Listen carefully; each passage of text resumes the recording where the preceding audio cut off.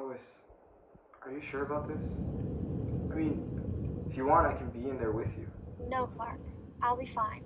You stay at the planet. Don't hesitate to take off your glasses if anything goes awry. You know I never hesitate, love. I know, a Smallville.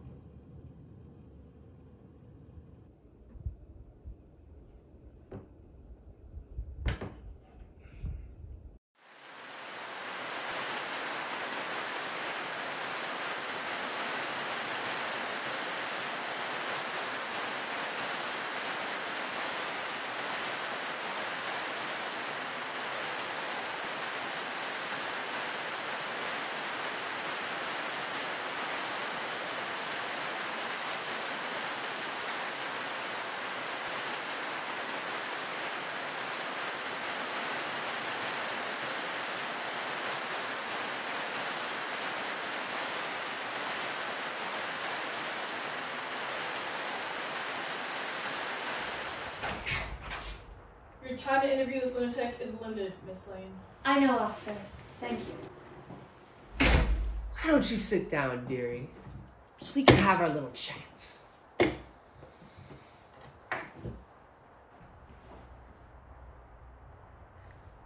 I would ask if you don't mind this being recorded, but in your current predicament, I don't think you have much choice on the matter. Aaron Scott, alias the Joker, age 25, an absolutely brilliant artist for a man of your age, and yet, here you are. Two months ago, you were found in a defunct carnival off the coast of Gotham, with the vigilante known as the Batman beating you to a pulp. You wouldn't be here had it not been for the officers who pulled him off of you. What was that? That's it. Everything that's happened. And that's it. I'd expect more from you, Miss Lane. Okay, then, let's go back. The night about a year ago when you revealed yourself to the world. The night you murdered dozens of people on camera, nearly gunned down the vigilante known as the Robin, burned a man to death on live TV, and faked bomb threats all over Gotham.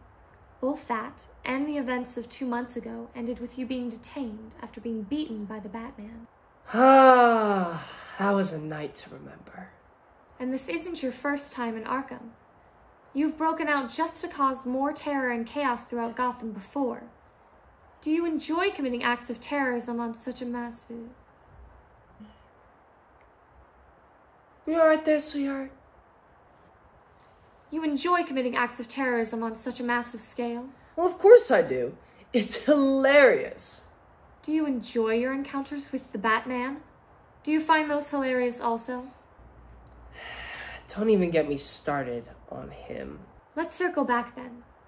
The card you gave to the GCPD before your attack last year said that your entertainment was a metatextual performance concerning the operatic nature of the socio political environment, with three exclamation points. You truly do your research. I'm flattered, Miss Lane. That isn't your only motivation for committing acts of domestic terror in Gotham. There must be something more to this. There is always something more to committing acts of terror on such a dramatic scale.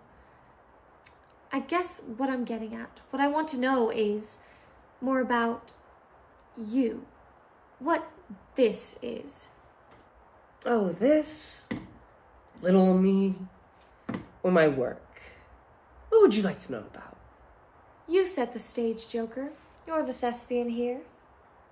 Happy to oblige. On the topic of my work and that of the Batman's, I'd say I'm better at what I do than he is at what he does. Just consider the budgets on these beautiful nights. It only takes a couple grand to kill a dozen or so innocents with some cinematic grandeur and finesse and leave the rest of the city quaking in its boots. Why, what I did to that poor sap Gordon, not even a hundred bucks. You're proud to do this on a budget, of all things. Why wouldn't I be? My art really is cheap compared to what the Batman does, and way more effective. If I'm remembering right, you were there on the night I stepped on stage. You mean the first night? The night on the docks? Correct? The night of your first attack. That's the one. Yes, I was there. I was watching in a Daily Planet Chopper. Do you remember the crowning moment of that night?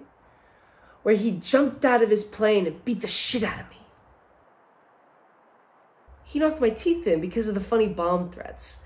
But when I told him the punchline, he just wouldn't stop. God, even I know I deserved a good curb stomping, but sheesh, he just couldn't understand why I would do this. And it infuriates me that he just couldn't get the joke. He, of all people, should understand. Why the Batman of all people? I committed the largest mass murder in American history with remarkable ease, mind you.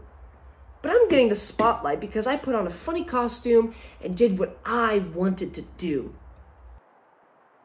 Maybe, just maybe, that isn't a good thing. None of this is real. It's all a show, a performance, and it's beautiful. As I told the bat, it's complete freedom to put on a mask.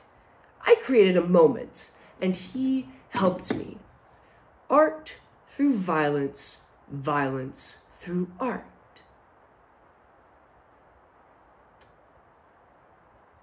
This is now a Shakespearean tale of heroes and villains. So you admit that you're the villain? Oh, he is one just as much as I am. Only he's the greater monster. He does what he does for real. I do what I do because it's funny. It's all a joke.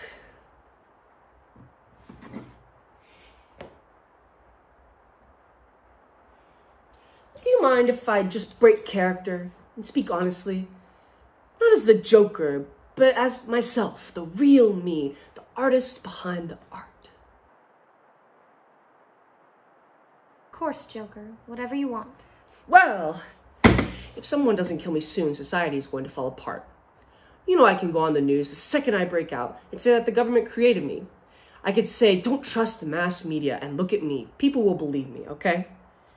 Batman is not a sustainable project for mankind. Superman is not a sustainable figure for human culture. The Joker shouldn't exist. And yet here I am. And now there's a Riddler and a Scarecrow. Lex Luthor commits crimes out in public, and yet people love him.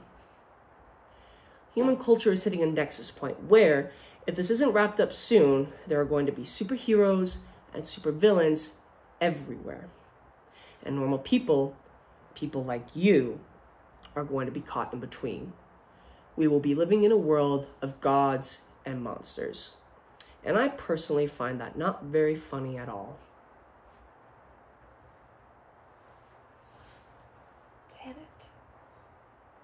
Now, what I do find funny is what is going to happen to the Batman after that night in the rain.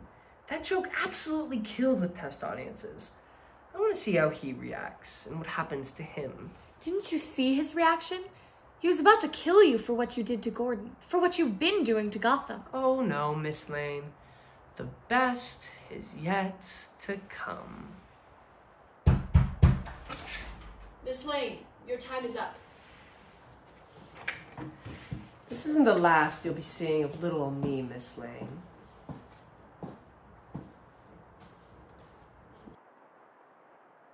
If what you say is true, I will be there. I'll be looking forward to it, Batman.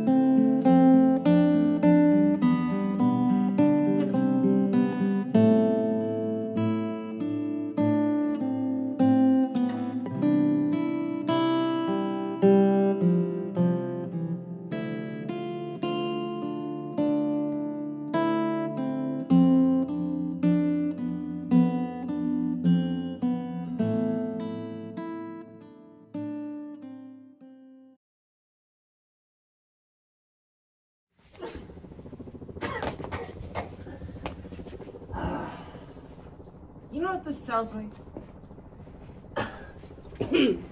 Next time, bigger. Next time, more. I was thinking too small. That's the lesson! You're a monster. No, no, you're the monster. You do this for real. I do it as a joke.